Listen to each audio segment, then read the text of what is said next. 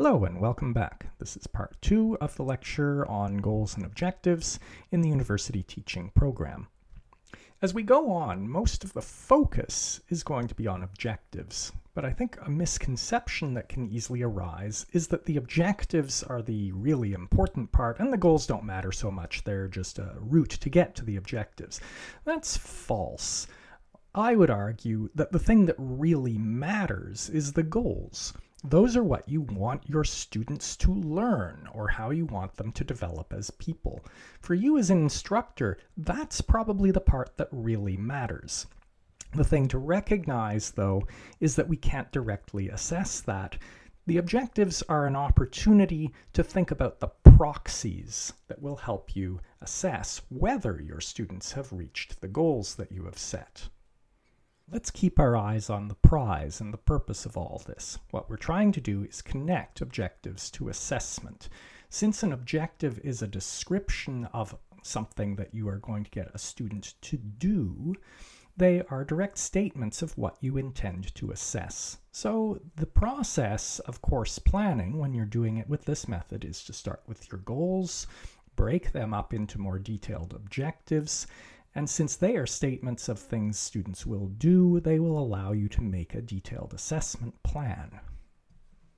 So your objectives give you a checklist of what to assess, but you can actually go farther than that. As we'll see in the following lectures, we can also use our objectives for clues on how to assess. In other words, if we write our objectives carefully, they can help us decide which assessment tools are most suitable. One thing to be aware of is that there are already some goals, and to a lesser extent objectives, that are pre-written for you, and that's lists of graduate attributes. So here's an extract of CBU's institutional graduate attributes, and you may also be aware that the programs you teach in also have graduate attributes. I'm just going to do a bit of a preview of Lecture 2 and point out that part of this is mostly things that we would say are in the cognitive or thinking domain, and part of this is mostly in the affective or emotional or social domain. But now going back to goals and objectives.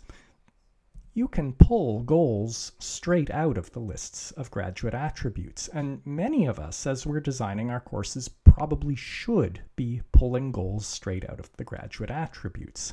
So here's one about students becoming experienced communicators. Now, there isn't really a great objective here on the graduate attributes list, but it's pretty easy to construct them. Here's an objective. It's not the best objective I've ever seen, and you might think about how you could make it more specific for your courses. Similarly, here's a goal to do with students becoming culturally and ethically aware. And it's not hard to put together a perfectly good objective here, which might be an appropriate objective for many of you in your courses.